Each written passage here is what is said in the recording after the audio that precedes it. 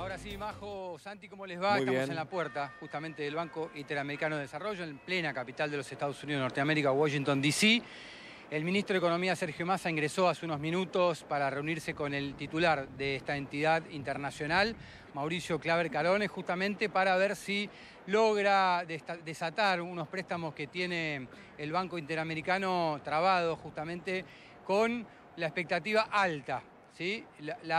Si la misión termina de manera muy exitosa, nos decía recién Sergio Massa antes de entrar, se estaría llevando para Argentina 2.000 millones. En la expectativa media podría ser entre 800 y 1.000 millones de dólares lo que viene a buscar entonces el ministro de Economía que estuvo más temprano reunido en el Departamento de Estado y también en la Embajada Argentina con distintos actores de la vida económica mundial y que justamente tiene relación con la Argentina. Así que son Sí. horas importantes para nuestro país, estamos a la expectativa de ello. En minutos nada más van a bajar ambos, el ministro de Economía y el titular del Banco Interamericano para, Interamericano para dar una conferencia de prensa y aquí estamos justamente con toda esta situación que tiene, por supuesto, como foco central Sí. a la Argentina y al futuro cercano de nuestro país. Santi Román, Majo. ¿pudiste cruzar algunas palabras con el ministro de Economía, con Sergio Massa? Y en ese caso, ¿cómo lo notaste, no? Con expectativa frente a esta reunión.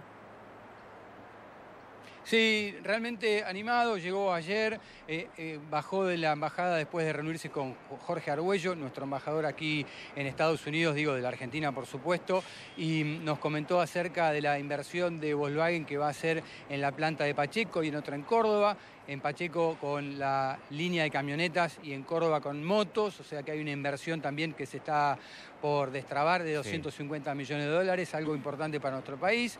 Otra inversión que llegará de la mano de Amazon para ampliar la capacidad y disminuir la latencia. Esto tiene que ver justamente con la señal, que sería de 35 millones de dólares. Y bueno, en un contexto muy adverso de la Argentina, en la cual estaba viviendo, después de lo que fue hace muy poquito, un- una disparada del dólar y, y con muchísima incertidumbre, llegar de alguna u otra manera o lograr encauzar estas inversiones que estaban predestinadas pero que fueron paradas, Sí. es como empezar a ordenar de a poquito la economía de cara a un futuro cercano. Así que el semblante era bueno, la comitiva argentina que acompaña al ministro Massa también está en ese sentido, no hay una gran este, eh, eh, expectativa gigantesca ni, ni desmedida, sino que esto es minuto Sí. a minuto, centímetro a centímetro, reunión a reunión. Exacto. Bueno, justamente, Román, te quería preguntar cómo había comenzado esta agenda antes ¿sí? de esta reunión allí en el banco y cómo sigue después de esta reunión. Sabemos de que también Sergio Massa viajó allí para cerrar ciertos temas pendientes con el Fondo Monetario Internacional. Bueno, justamente, Majo, ese es el plato fuerte para el lunes que viene.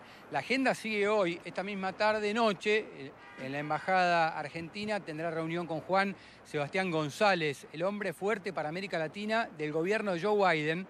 Una reunión muy importante que no solo tiene que ver con la economía, sino también con la política para nuestro país. Y eso va a cerrar el primer día de actividad completa después del feriado de ayer, donde ya hubo un equipo técnico trabajando desde el viernes pasado cuando tocaron tierra los primeros enviados.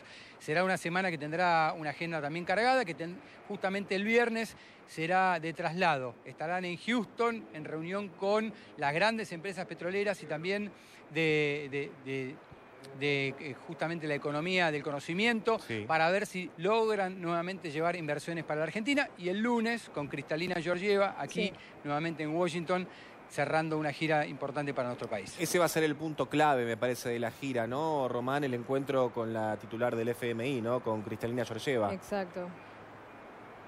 Totalmente. Eso me parece que ya va a llegar la- el termómetro justo de la temperatura después de esta semana, de lo que van logrando en los distintos pasos. No es una agenda que esté eh, armada al- así como en suelto, sino que son todos puntos que se van hilvanando y que llevará justamente a la reunión del lunes que viene tan importante y que de alguna u otra manera será el broche final y Sí. que ahí tendrá justamente el- el- el- el resultado de de lo que vino a buscar el equipo económico de la Argentina, que hoy comenzó muy bien, lo decíamos, no, no hay una expectativa desmedida, Desmedida, claro. teniendo en cuenta el caso Argentina. Pero esta reunión es muy importante, tiene muy buena relación Massa con, con Claver Carone de hace muchos años, se vuelven a encontrar. Esta reunión en la cual ya venían adelantando las distintas este, agendas. Sí. Y bueno, tendremos entonces en un ratito nada más, quizás tenemos la posibilidad de hacerlo en vivo, Sí. cuando bajen ambos titulares, el del Ministerio de Economía y el del Banco Interamer- Interamericano de Desarrollo, Sí. para conversar justamente acerca de este resultado de, de la reunión tan importante que mantiene en vilo a nuestro país. Bueno, ese es el punto a favor, ¿no? Que Sergio Massa tiene muy buena relación con los distintos representantes, ¿no? Este, y además de esto, de que iba a terminar de, de cerrar ciertas situaciones que habían quedado abiertas Sí. con los distintos ministros de Economía, bueno, Así es. anteriores que, que hubieron. Bueno, Claro, Román, muchas exacto, gracias. Eh, eh, ya para, para cerrar, eh, ahí en la puerta de la, de la sede del Banco Interamericano de Desarrollo en Washington, eh, un edificio imponente por lo que se veía recién en el paneo. Muchas gracias, Román. eh. Tremendo. Sí. Seguimos de aquí en minutos, continuamos con los móviles en vivo. Gracias. Gracias.